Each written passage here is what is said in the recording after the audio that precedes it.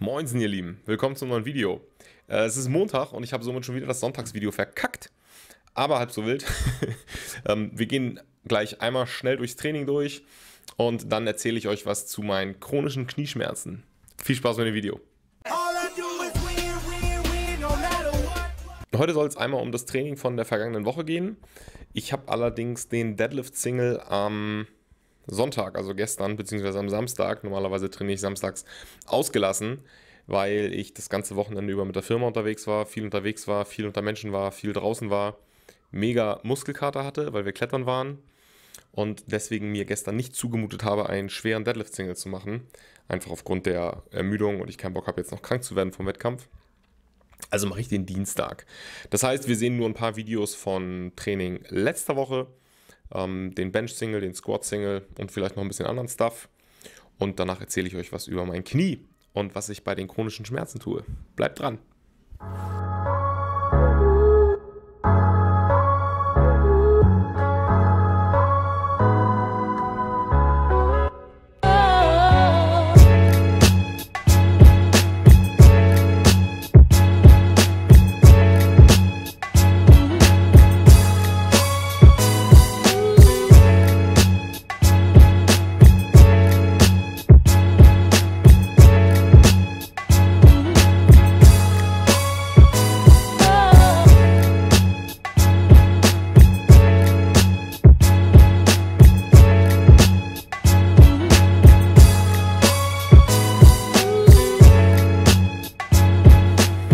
Yes, das war der Bench-Single, das war der Squat-Single, beides missgrooved.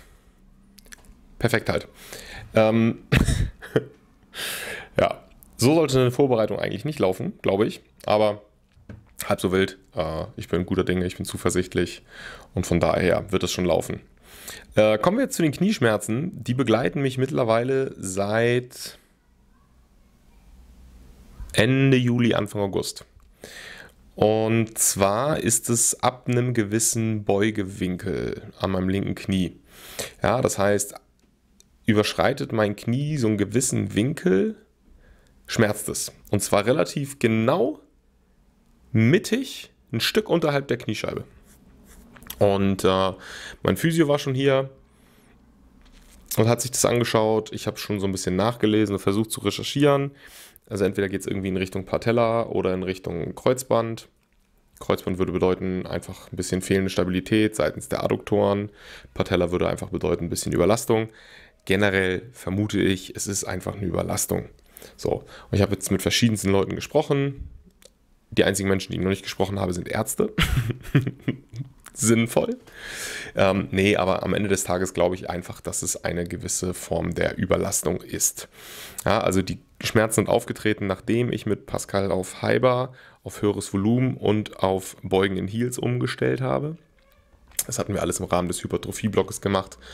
Und ja, deutlich mehr Volumen, deutlich mehr Knievorschub und auch einfach deutlich eine andere Position beim Squatten führen, können natürlich dazu führen. Und deswegen behaupte ich jetzt, es ist einfach mal eine Überanstrengungs-, Überlastungsgeschichte.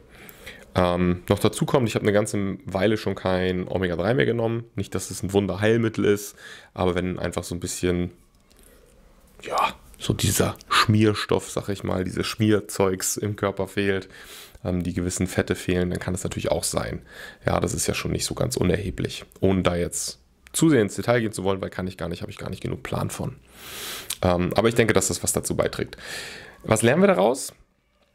Ich habe jetzt Omega-3 wieder reingenommen seit ein paar Tagen. Erhoffe mir davon, dass es davon ein bisschen besser wird. Und nach dem Insanity werde ich auch einfach mal zwei Wochen lang komplette Sportpause machen. Jedenfalls in der Theorie. Ob ich mir das selber antue, weiß ich noch nicht. Ähm, ich werde de facto einfach so ein bisschen weniger machen und auch einfach gucken, dass ich das Knie halt ein bisschen erholen und schonen kann. Ja, das heißt, ich gebe einen Fick auf die Knieschmerzen, wie schon seit mittlerweile sechs, sieben, acht Wochen oder so. Ähm, sollte man natürlich nicht unbedingt nachmachen, aber ich glaube nicht, dass da irgendetwas wirklich passiert. Ja, und chronische Knieschmerzen was tun, ist natürlich einfach nur ein richtig sexy Clickbait-Titel. ich lerne das YouTube-Game nochmal mit 32. 31. 31. Ähm, ja, das soll es eigentlich auch schon gewesen sein. Also, Vorbereitung läuft nicht wirklich optimal. Jedenfalls die Singles geben mir kein richtig gutes Gefühl, aber ist mir egal. Hm, Schmerzen sind auch wie üblich da, muss auch so sein. Äh, läuft also alles perfekt. Ja. In diesem Sinne, vielen Dank fürs Zusehen und bis zum nächsten Video. Peace.